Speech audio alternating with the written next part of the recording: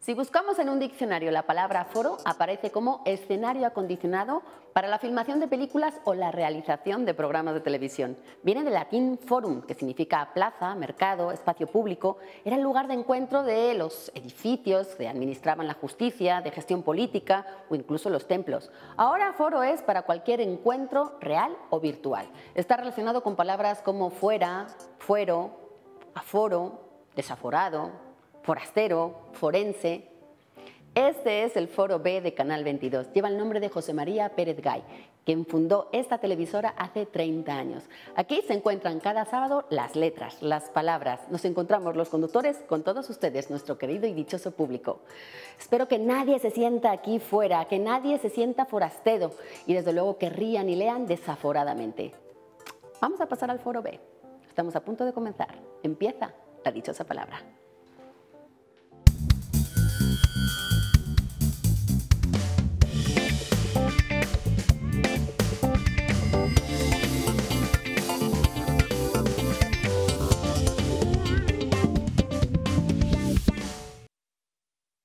En el libro de lecturas de tercer año de primaria, eh, un libro de texto que la SEP, la Secretaría de Educación Pública, repartía a los niños hasta el pasado ciclo escolar, había textos de grandes autores mexicanos y extranjeros, clásicos y contemporáneos, en español, en náhuatl y en maya.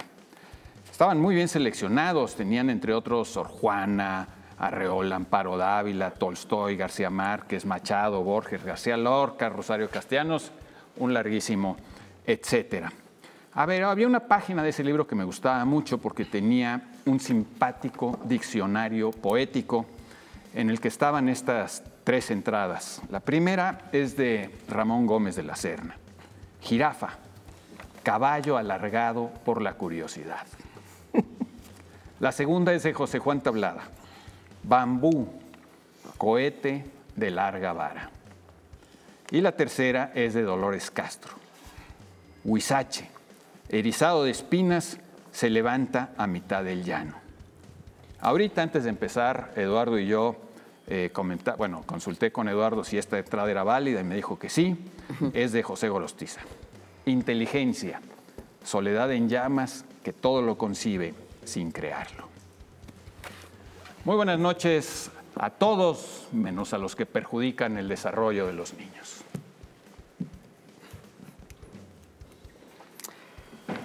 Nos embarcamos en el Mediterráneo. Es tan bellamente azul que uno no sabe cuál es el cielo y cuál el mar. Por lo que en todas partes de la costa y de los barcos hay letreros que indican dónde es arriba y dónde es abajo.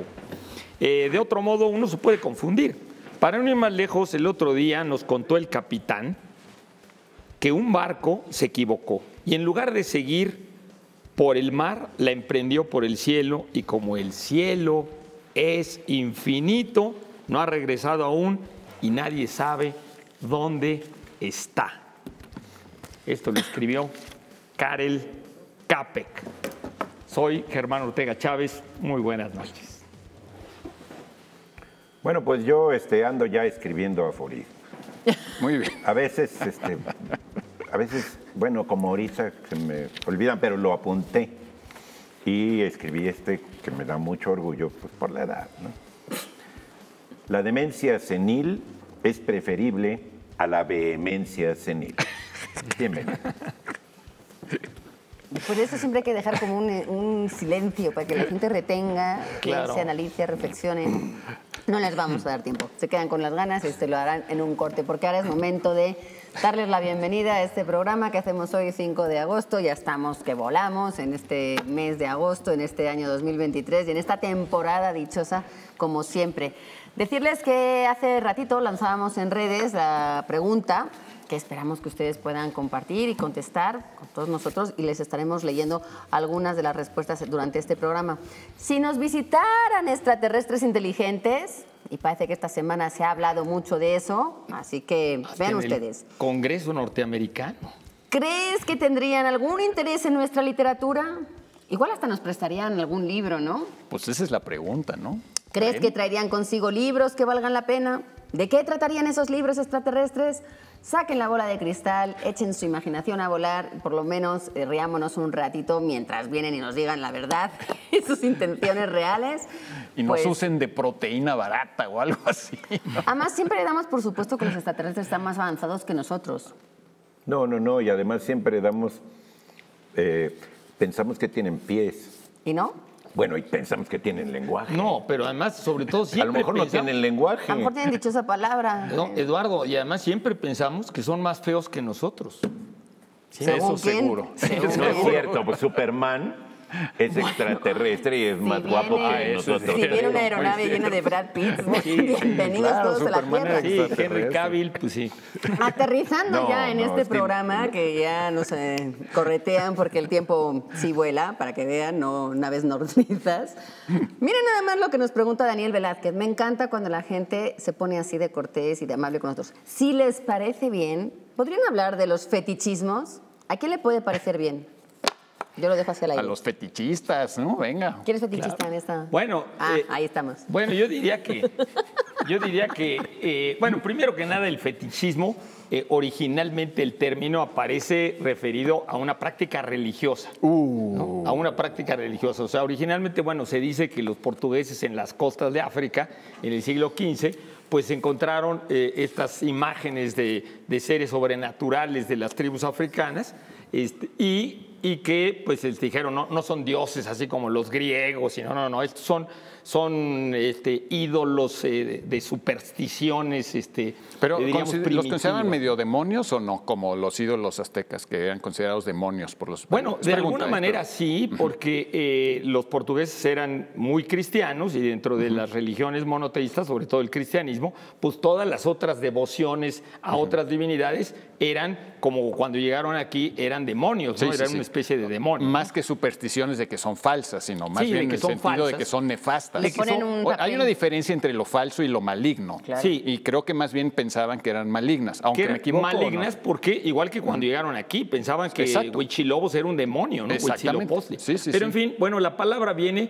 eh, de, de, por supuesto, de una raíz latina que es facere, ¿no? Hacer, o sea, estas cosas hechas, ¿no? O sea, de alguna manera son objetos eh, eh, que pueden ser tomados de materiales de la naturaleza, pero construidos, sacados de contexto natural y construidos como objetos de adoración, de devoción, de, de fascinación, en la que ese objeto se cree que tiene un poder sobrenatural, un, poder divino, mágico. Una pregunta para ti, Germán, nada más. El hecho de que estuvieran hechos eh, era en contraste con algunas imágenes que potencialmente no serían hechas por los hombres. Quiero decir, los católicos muchas veces tenían imágenes que aparecían milagrosamente, no habían sido fabricadas. Claro. No eran fabricadas, Sí, sino hay- que hay- eran claro que sí, eh, Dios supuesto. las enviaba o aparecían. Claro, pero claro. en este caso eran fabricadas, era lo que estaban Eran, diciendo. eran fabricadas, digamos, los, los portugueses, decían, eh, y por eso viene de fetiquio, ¿no? De facere. Exacto. Entonces, la, la cuestión es que todavía los antropólogos pues, le, dan, le siguen dando ese uso y cuando piensan en un fetiche, piensan en estas esculturas fabulosas de, de arte africano que luego Picasso y Braque admiraron, y etcétera, etcétera. ¿no? Pero un Cristo no sería un fetiche si lo, hizo, un- si lo hizo no, un artesano. Exactamente no, porque estamos en otro contexto. Eso tiene que ver justamente etnológicamente con un contexto cultural. Ahora, esto de que es un, un objeto que eh, se califica como que supersticiosamente se le atribuye un poder, eh, un poder que ese objeto tiene un poder que puede ser defensivo o que puede ser eh, usado para operar, no para operar.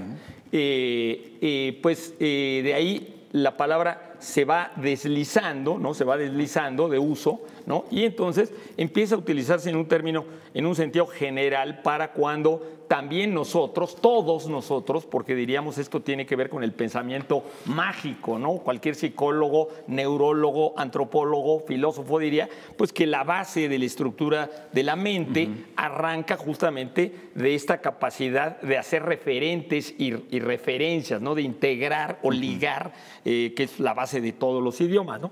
Entonces, que de ahí viene esta, esta cuestión de creer que una parte, ¿no? Una parte adquiere las características de un todo o que arrastra, digamos, mágicamente esas características. Ya ¿no? te estás acercando al ámbito sexual. Entonces ya me estoy acercando a que. Carlos Marx, Carlos Marx, eh, eh, bueno, en el siglo XVIII. Tenemos tiempo limitado, Germán. Sí. Llega, por favor, a la parte Llega, la Bueno, parte es esa, que picante. Carlos Marx Ya quieren las cosas habló de. Sí, ya son las se ¿qué? puede, Ocho, no hombre. Eh, Bueno, Carlos no, Marx bueno. habló del fetichismo de la mercancía, Claro, claro. del mer- la mercancía, y luego eh, Teodor Adorno eh, dijo el fetichismo del arte y de la música Claro. en la época actual, en el cual pues la música, la música para los anuncios, en el supermercado, eh, deja de ser verdaderamente música, deja de ser de verdaderamente arte, el que era teórico del arte, Teodor Adorno, eh, y, y se envuelve una mercancía, ¿no? Se vuelve una mercancía y dejamos verdaderamente de usarla, ¿no? Y por supuesto, Sigmund Freud, que es lo que ustedes querían, Sigmund Freud utilizó Porque ustedes lo pidieron. Al público lo que pida. sí, los ¿no? Pues es el No, no cliente tú, lo nosotros nada En el más. sábado. entonces, bueno, el, el fetichismo hoy en, en el lenguaje, lo primero que piensa la gente es en el fetichismo sexual o erótico. ¿no? ¿Qué quiere decir? Que hay una, una compartimentación del ser amado y una de las partes corporales del ser amado o un No, objeto, un objeto de vestir, un zapato, este, eh, ropa interior, una pantaleta, este, eh, Está ahí, está ahí. etcétera, ¿no? Puntos etcétera. Este, eh, eh, adquiere mágicamente las cualidades o, o- o- o de, eróticamente Claro. las solo- cualidades de atracción de la persona amada. bien. Por cierto, Entonces- esta pera no, para- no es un fetiche, ¿eh? nada más quería aclarar. No sabíamos que íbamos a hablar de eso antes de No es un meter la pera en, Bueno, pero Oye, está en muy la escena. Claro, pero a lo que voy es que eh, de aquí, eh, primero, esto era una, una enfermedad, ¿no? O sea, la psicología originalmente y el mismo Freud partió de que era una perversión un poco, ¿no? Eh, una perversión. Luego, pues se le empezó a llamar una parafilia, de filia y fobia, ¿no? O sea, ¿qué quiere decir? No, no, una filia no es mala, ¿no? Uno puede tener filia por los libros o filia por algo. Pero una parafilia sería algo ya que colinda con lo, lo anómalo o lo extraordinario, ¿no? Lo que no es de todo el mundo. ¿no?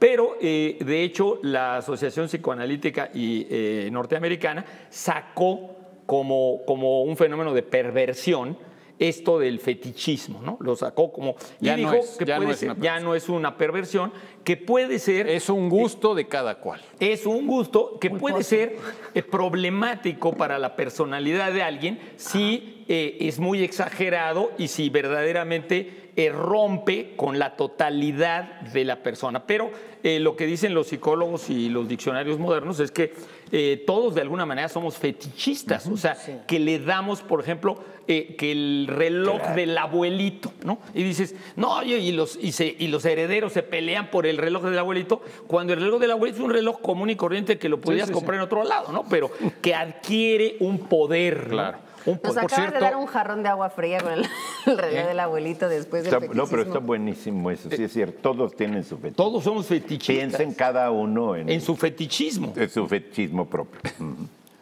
¿Alguien tiene un libro como fetiche? Digo, aquí vamos a presentar algunos, vamos a ver cuál de ellos se convierte en su fetiche. Si nos dicen, la especie de columna vertebral de un barco hecha de metal o de madera, sobre la que se asienta su armazón y que va por la parte de abajo desde la proa hasta la popa. Las partes de un barco, que siempre son bastante complicaditas luego de, de diferenciar, porque un barco tiene muchas cosas, pero aquí también tenemos muchos libros. A mí me suena como una canción caribeña muy famosa. Bueno, Adiós Glinka, ejemplares de Adiós Glinka de Arnoldo Kraus, con ilustraciones y diseño de Alejandro Magallanes, una cortesía de sexto piso, maravilloso, muy, muy bonito objeto como libro. Merece ser un fetiche para algunos. María González, eh, María Enriqueta González Padilla es la que traduce y hace las notas de este, este libro de William Shakespeare, esta obra de teatro, Hamlet, Príncipe de Dinamarca, que seguramente va a tener su, su éxito. Eh, eh, por cierto, hablando de, de Shakespeare, Shakespeare también, eh, en muchos de los sonetos se dice que son realmente, como muchos de Quevedo, que tienen que ver con el fetichismo. Sí, ¿no? sí, sí, de sí. hecho, hay mucha poesía, toda la poesía de Clement Marot en el siglo XVI. Claro. Es, es eh, los blasones de un cuerpo, de una nariz, de un ojo. Vamos ¿no? a seguir. Bueno, hasta la mosca que se para en el pecho de una mujer es, es cantada en más de un soneto del, del siglo de oro. Estamos muy locos. No, es fetichismo por, por querer eh, regalar, por ejemplo, la poesía reunida de Coral Bracho Qué en padre. esta edición preciosa de Editorial Era. Qué padre. Bueno, Este, pues ¿puedo- sí, an- puedo- sí, un sí, último sí, sí, comentario rapidísimo, dale. nada más, por si están urgidos. Re- Ya ven que cuando uno saca facturas en el SAT, ahora tiene, cambiaron y hay un catálogo muy completo de a qué concepto deben ir las cosas. Ya no es tan fácil como antes. Bueno, solo quiero avisarles, y yo mismo lo comprobé, que en el SAT hay conceptos especiales, a propósito de lo que primero que estaba comentando Germán, para aquellos que practican el vudú, para aquellos que hacen trabajos con energía y para curanderos. Sí. Nada más quiero Ah, está bien, señalar. para que Pero haya hay que una confesarlo, inclusión. Órale, además. No dale, vámonos. Bueno, No anuncios parroquiales, desde la dichosa palabra no dirán que lo tenemos aquí de todo. Bueno, antes yo pedía una reflexión y un momentito de silencio. Ahora sí les va uno para que hagan lo que quieran en este corte.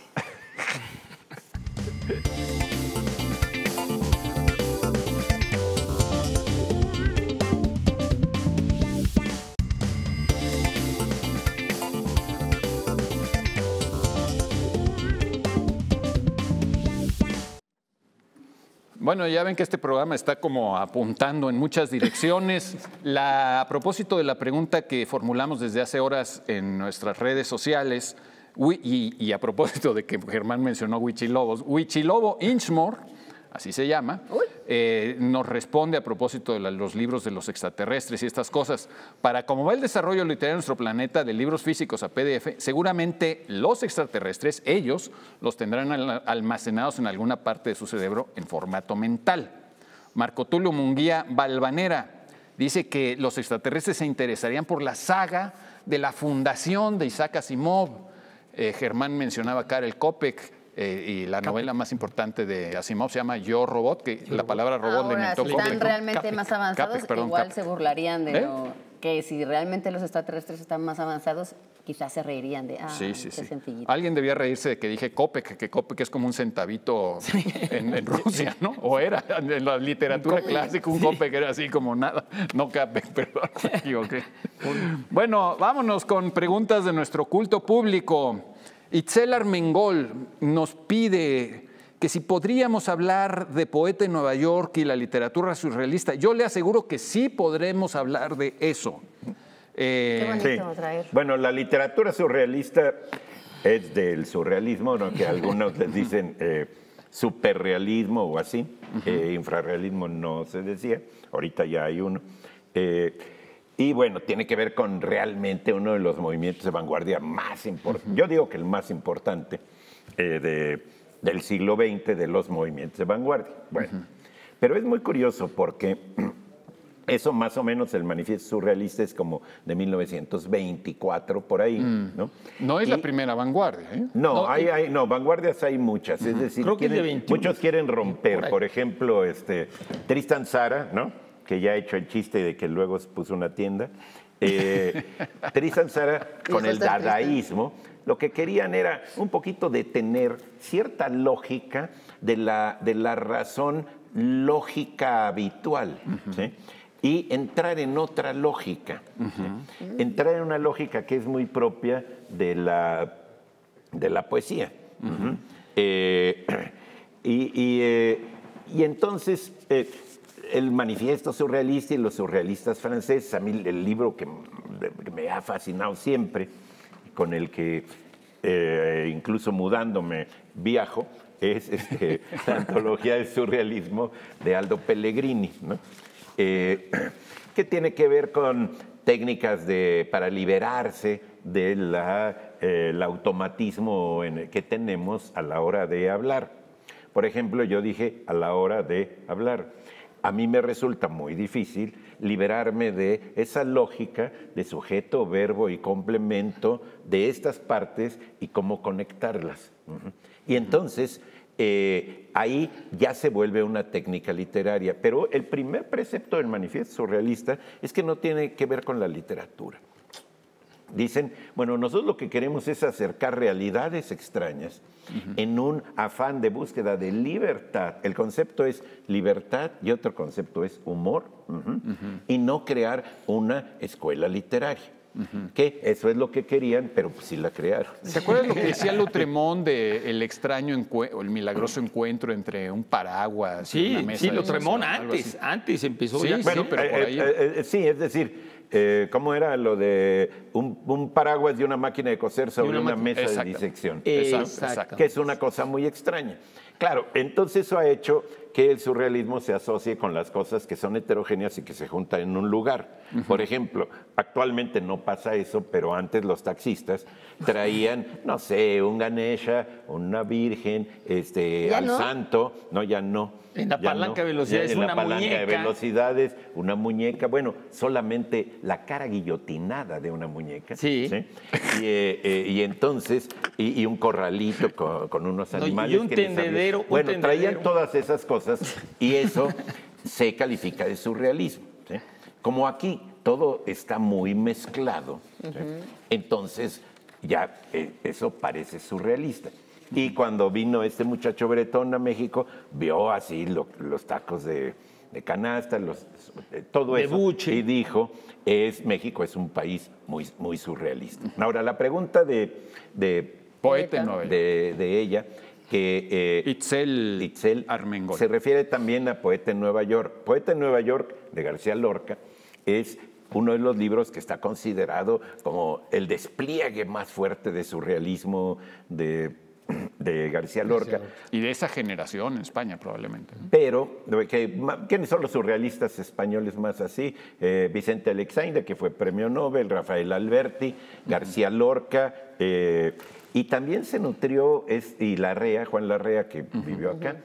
Pero lo que pasa es que el, el surrealismo de Lorca se nutre mucho de dos personajes que nosotros todos y todos conocen, que son Dalí y Buñuel, y que tiene que ver con cierta plasticidad y ciertas cosas que también están en el inconsciente colectivo general. Y que eran él no está buscando, Y él eran no está, bueno, eso sí, no sé, y se no sé. conocían muy bien y Como tuvieron. todos somos bueno, fetichistas, ellos también. eh, era Como que son, Lorca claro, estaba como- medio enamorado de Dalí. Sí, todos se enamoraban de Dalí, sí, incluso yo estoy a punto de enamorarme.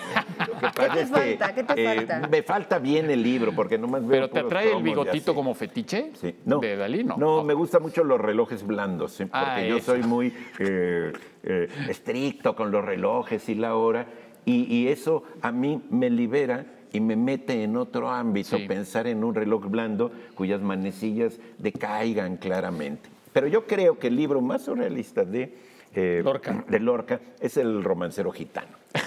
Es decir, las imágenes de Lorca en el romancero Eso que estás diciendo es surrealista. ¿sí?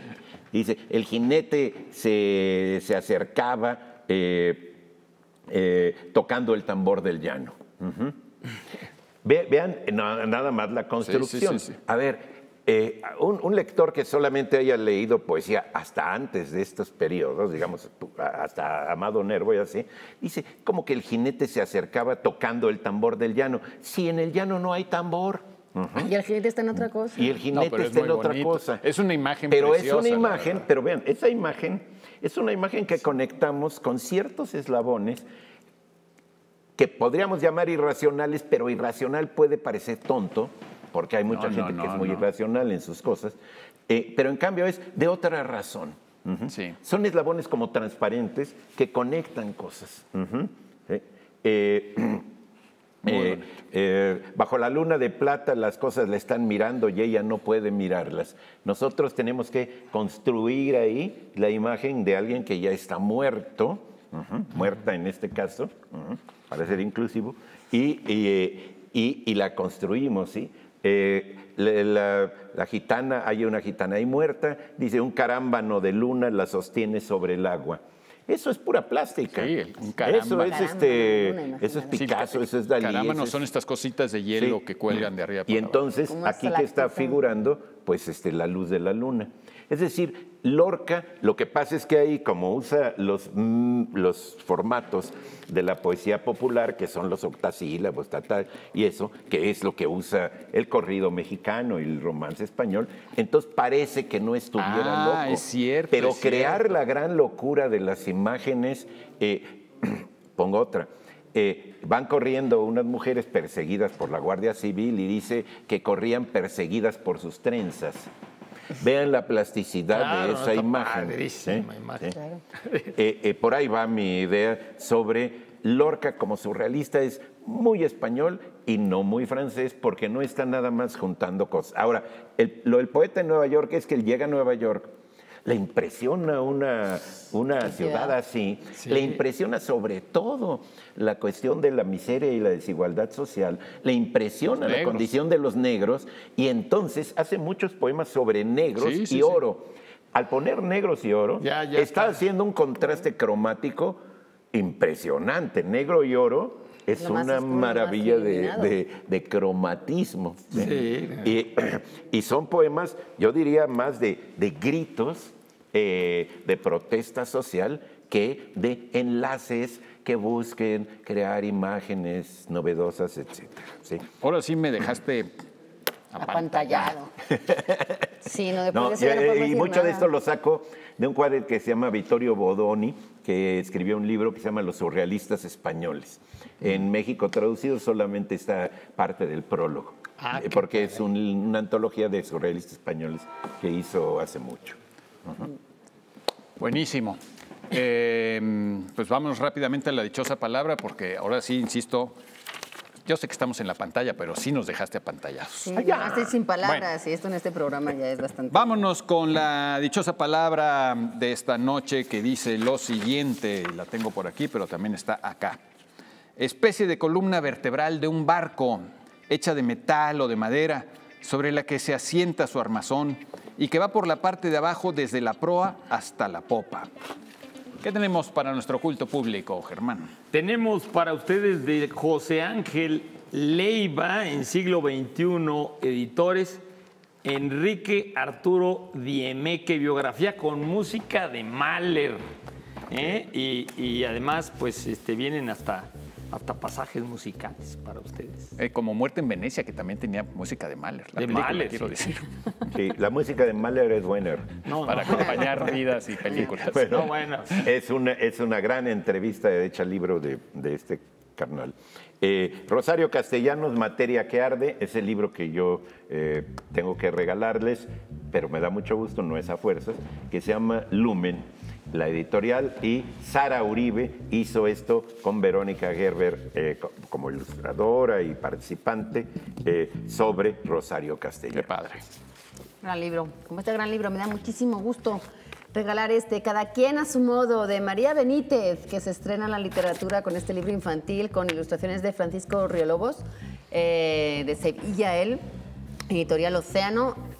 Hace esta historia sobre cómo hacer las cosas cada quien a su manera. Es un niño que está intentando eh, pues saltar de, de liana en liana y le va preguntando a su familia pues que cómo se hace. Y cada uno le dice una manera de hacerlo y todos le dicen tienes que intentarlo muchas veces y al final él sí puede y lo hace a su manera. No se parece a ninguna de las otras pero lo logra y lo hace muchas veces. Así que es un ahora sí que una, una invitación a que cada uno defienda su manera única y original de ser en la vida. ¿sí? Nosotros tenemos nuestra propia manera de hacer un corte y lo haremos.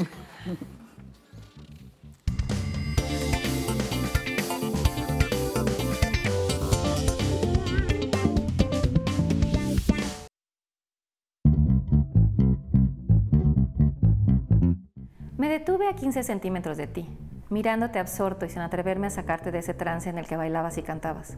Abriste los ojos y subiste la mirada hacia mí. Te debo un baile, dije en voz baja. Asentiste con un parpadeo y media sonrisa. Tomé tu mano y rodeé tu cintura, tus dedos en mi hombro, tu aliento en mi cuello. Dejaste de cantar, pero seguí escuchando la letra de la canción de los monos árticos. Mi cuerpo al ritmo del tuyo, el tuyo al ritmo de los acordes. Me separé un poco, nos miramos, tus pupilas llenando las mías. Deslicé mi mano por tu cuello para esconderla en tu cabello, Rodeaste mi cara con tus manos, cerraste los ojos. El estómago en la garganta, como en caída libre en el juego de Kilauea de Six Flags. Las piernas cosquillando como si hubiera estado tres horas hincado. Los dedos, los labios, la lengua, como si estuvieran pegados en una caja de toques. Fue el momento más entera, completa, totalmente perfecto. Hola, mi nombre es Diana Coronado y soy autora de novelas para jóvenes y libros para niños. Entre mis publicaciones se encuentra Mi dinosaurio favorito, El beso, Luz en el claustro. Esto que acaban de escuchar es un fragmento de mi más reciente novela que se llama Sueño de una tarde dominical, que está inspirado en los murales de Diego Rivera y también en una banda de rock. La historia es el reencuentro de dos personajes, Hannah y Enrique, que quienes hayan leído El beso ya los conocen. Quienes no los conozcan pueden leer este libro sin ningún problema. Aprovecho para mandar un gran abrazo a todos los jóvenes y a toda la audiencia de la dichosa palabra.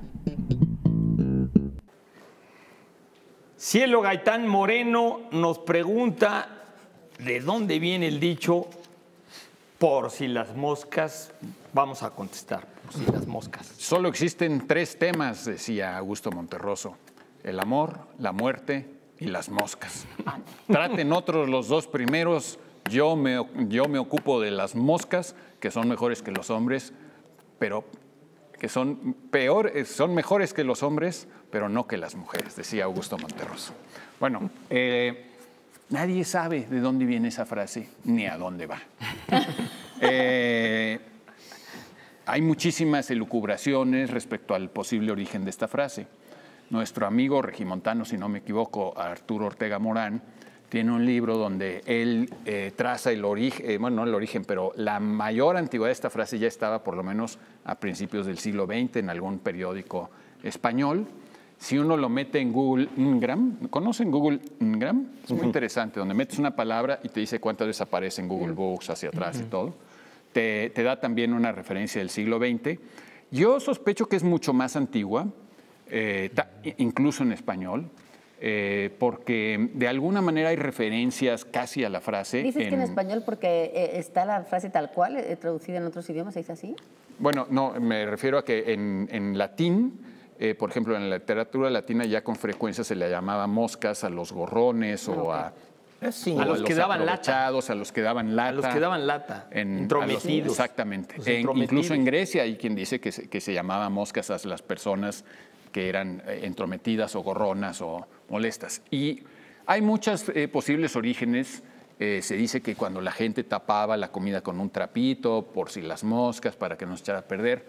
A mí me gusta alguna que encontré en un libro hace tiempo que elucubraba, porque era, admitía ser simplemente una posibilidad, que eran las mamás las que habrían inventado esta frase. Recordemos que todavía hablamos de la lengua materna porque la lengua más importante de quien realmente la aprendemos es de nuestra mamá, eh, antes que de nadie más.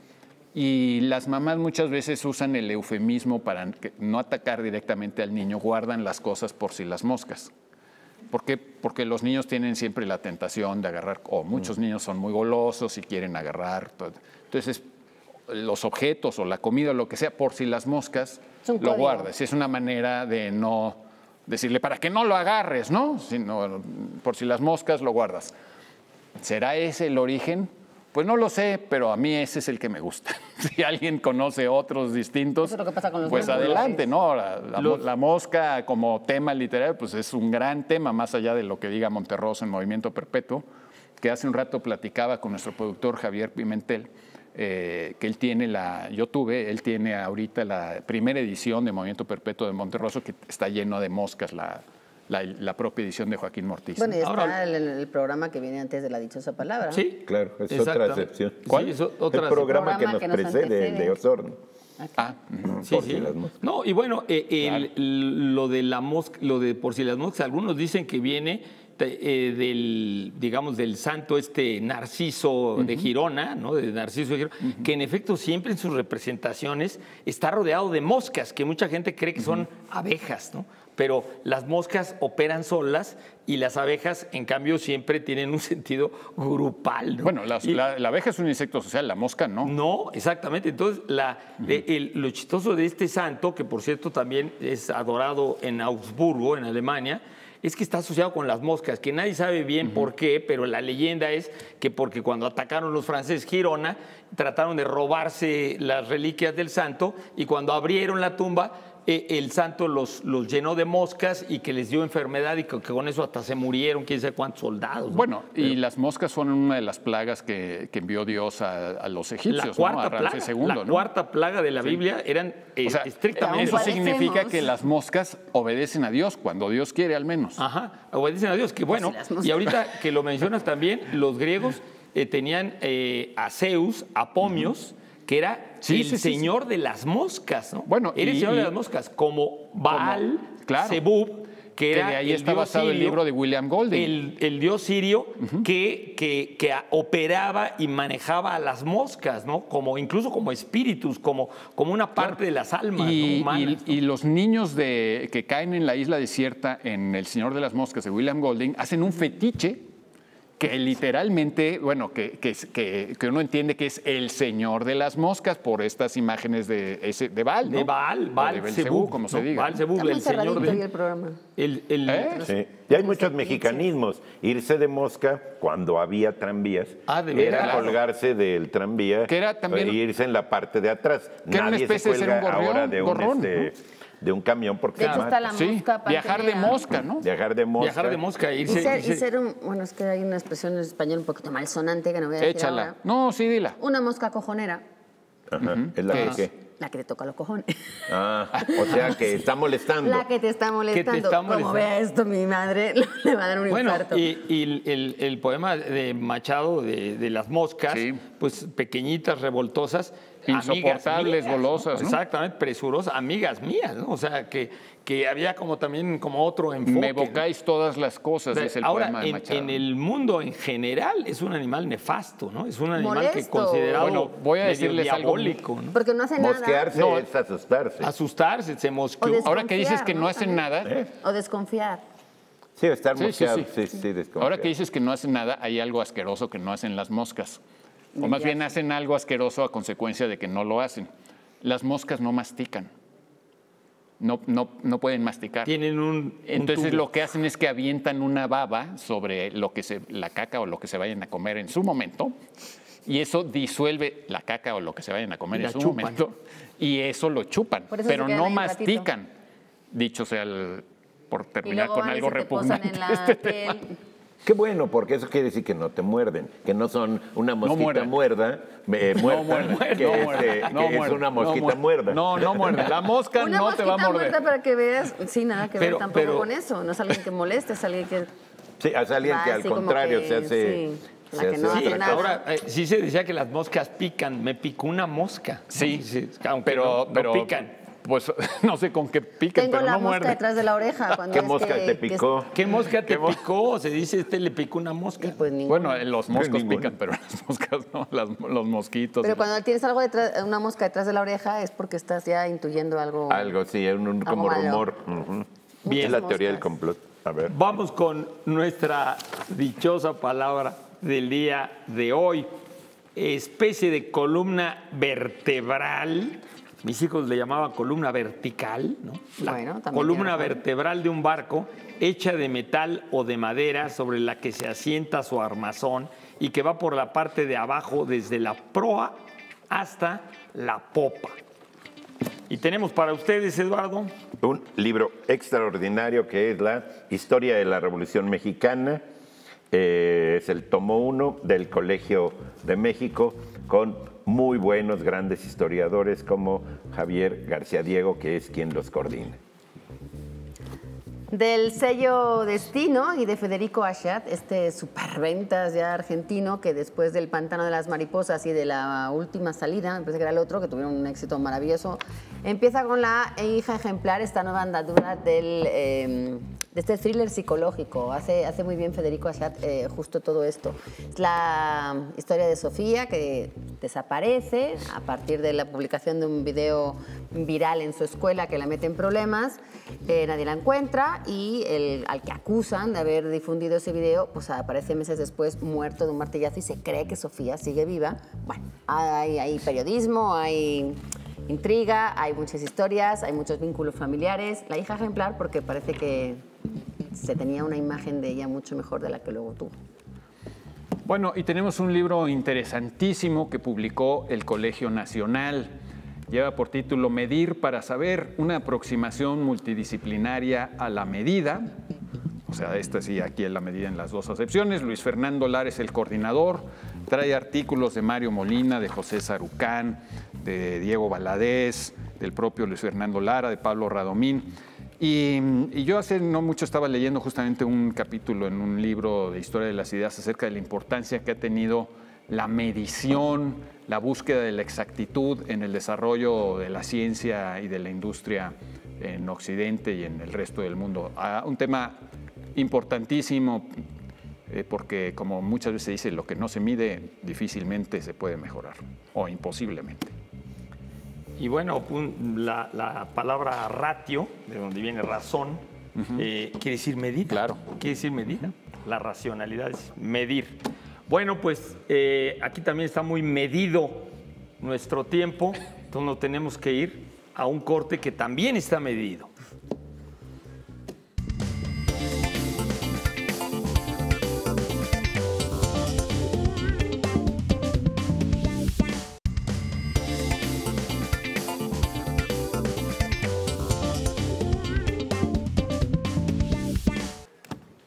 Pues aquí seguimos en la dichosa palabra y todavía tenemos una pregunta que es muy capciosa.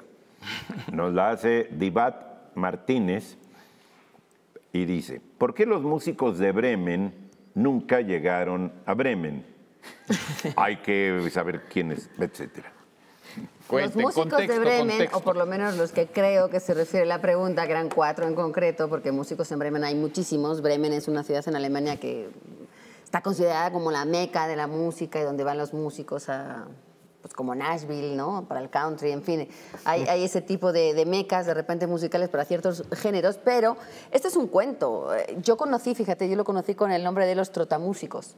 Ah. ah, sí, sí. Te voy a decir por qué. Porque ese cuento, eh, que ahora hablo de, de quién lo escribí, porque eh, se convirtió luego en película, que de hecho ganó un Goya, según yo, este, como corto de animación. Película española. Película española. Y luego fue una serie en televisión española, cortita, pero que repitieron tantas veces que se convirtió en legendaria mm. para unas generaciones. Y la serie también se llamaba Trotamundos. Los trotamúsicos. Los trotamúsicos. Pero... Sí, pero no, no, no tenía que ver con, o sea, sí tenía, estaba basadísima, por supuesto, en este cuento, un cuento chiquitito de los hermanos Green, estos hermanos, eh, pues bastante famosos alemanes que eh, pasaron a la historia por haber hecho una recopilación de cuentos infantiles tradicionales. Estos eh, hermanos, Jacob y Willem, en realidad eran filólogos, hicieron un trabajo de lexicografía descomunal, ¿Sí? hicieron una recopilación del hablar sobre todo rural y de más tradicional, más oral, que le faltaba estar registrado y por lo tanto eh, uh -huh. tardaron mucho, pero también era muy necesario y gracias a, a, a, este trabajo que se hizo en los siglos XVIII y XIX,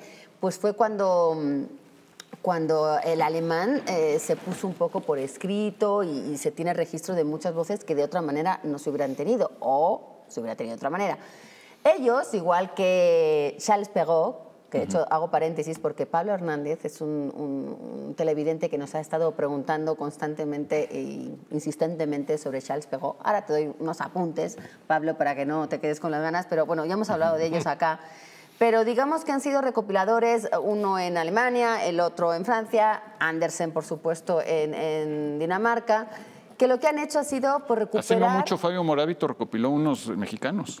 Muy interesante. Ahora, en muy diferentes épocas, Perrol en el siglo XVII y los Grimm en el XVIII y principios Y de diferentes tradiciones orales, ¿no? Porque claro. cada uno era en, en, una lengua diferente, pero eran cuentos que ya existían, que se habían, eh, digamos, heredado de boca en boca, y entonces tenían muchas versiones, muchos matices, claro. uno lo contaba de una Como manera es la aquí. literatura oral siempre, que siempre, siempre no está fija. Entonces ¿no? hay que decir que estos cuentos que conocemos todos como El Soldadito de Plomo, Caperucita Roja, La Sirenita, bla, bla, bla, pues uh -huh. en realidad esa es la eh, versión que nos ha llegado a nosotros. De hecho, aquí de Andersen regalamos, si no me equivoco, hace, no sé, pero varios años, una edición de Del Vives donde rescataban la em, versión original de Andersen, porque en realidad están bastante suavizados las que nos llegan ahora. Sí. Porque Bueno, pero no eran las de Andersen. Andersen sí son originales, de Andersen. Sí. No son cuentos Sí, tradicionales. no, no, esos igual que Sí. por ejemplo los de Que los son de preciosos, Calvino. ¿eh? Ítalo O los Calvino de- es una recopilación. Ahora, esos cuentos tradicionales de Andersen, luego los empieza a contar la gente y se vuelven orales. Claro. Y se vuelven También más pasa suaves, eso. porque en realidad los cuentos de Andersen no eran para niños, eran bastante crueles además, sí, la sí, sí, mayoría. muy duros. Y luego para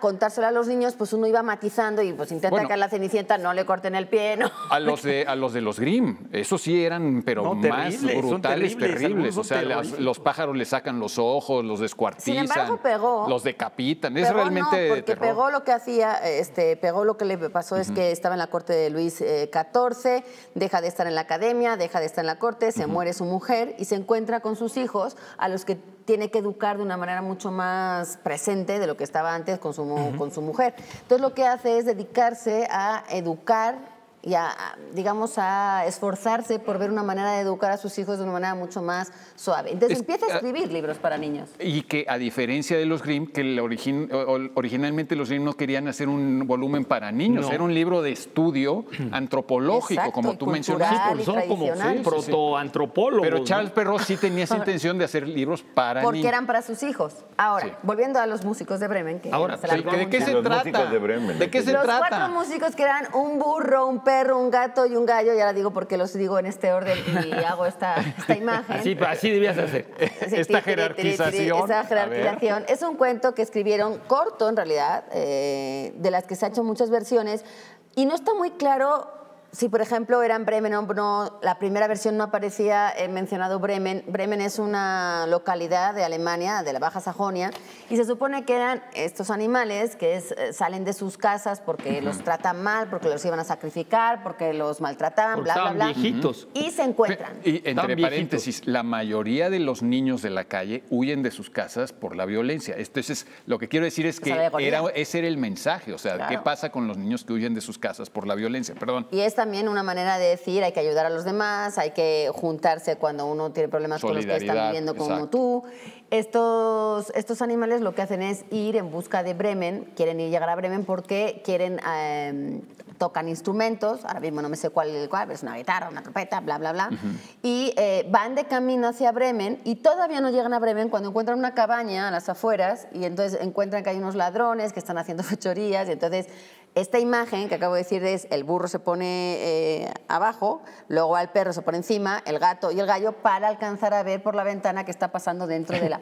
Esta imagen que aparece así descrita en el cuento en realidad se ha convertido en un emblema de la ciudad de Bremen porque hay una estatua ahí, hay otra en Riga, de hecho, Ah, sí. para que veas. Sí. Y es, es como el atractivo turístico, digamos, para decir, bueno, pues que los hermanos Green se basaron ahí, hicieron este, este cuento de esta manera que lo hicieron famoso. Y se ha Parece vuelto un que- fetiche, porque la gente lo soba la escultura, Claro, ya está toda, mueve está toda sobada la sí. escultura.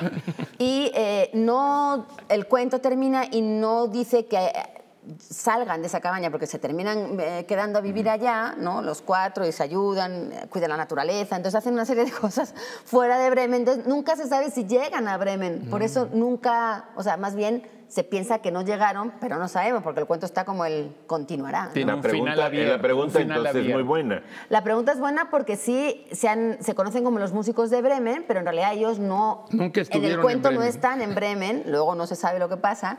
De hecho, hay unas versiones de que el final es soñado y entonces se separan, pero luego eh, aparece como que uno de ellos se despierta. Se van a la un. Juilliard, a otra escuela, ¿sí? Exacto, Sí. se van a. Bueno, eh, no, y que tiene cambiar de que ella eh, empezó a escribir cuentos cuando eh, leyó, ahorita me acuerdo, te digo qué cuento, ah, La Sirenita. Ajá. En la versión que ella leyó, el, no tiene final feliz. Y entonces ella empezó a recomponer esos cuentos que oía cuando era una niña porque los finales no la satisfacían.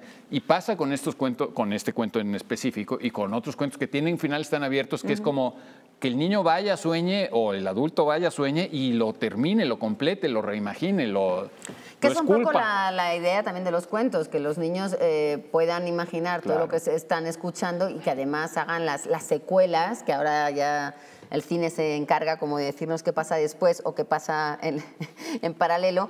O Y la qué pasa que al mismo tiempo, ya ves Sí, la no, ya hay- última, ahora, para esta última versión de Disney que quieren recomponer Ahora- Blancanieves y los siete enanos. a Ahora, todo lo los que- cuentos, Blancanieves es uno de hasta esos los mismos cuentos. cuentos de Perrol, eh, con lo que dices, pues en los cuentos de Perrol está Barba Azul. Y Barba Azul, pues tampoco es así para niños, ¿no? O sea, de que el Pero que, lo que pasa el ahí- que mata ahí las, una vez va matando a las esposas, ¿no? Del psicoanálisis de los Bueno, cuentos de para el caso Las Mil y Una Noches tampoco Claro, también pues, es, no, es las un mil y cuento una de noches, lo una- que con acabas un de decir, asesino. las mil y una noches, y, igual hay tantas versiones de las mil y una noches porque los cuentos los iban sí, sí, sí, reescribiendo sí. sin saber que luego se iban a recopilar en Claro, un pero gran el sultán Estamos este que hablando escucha los cuentos era un, ese sí era un feminicida hecho y derecho. No, Ahora, además, estamos ahora eh, no se pueden usar esos términos. Este, porque estos cuates no eran feminicidas. Comerte una abuelita siendo un lobo en la época de ese cuento. Bueno, claro, es no- no simplemente existía ni la palabra. una- está normalizado y es una carne asada. Acuerde, hay un rollo con eso que una vez lo platicamos en el psicoanálisis de los cuentos de hadas de Bruno Bettelheim.